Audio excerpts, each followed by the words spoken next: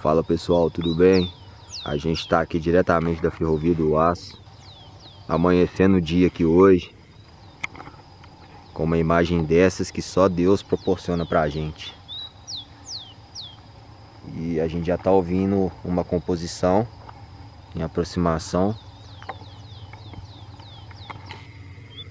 Provavelmente um trem carregado de minério. Composição que está vindo dessa direção aqui.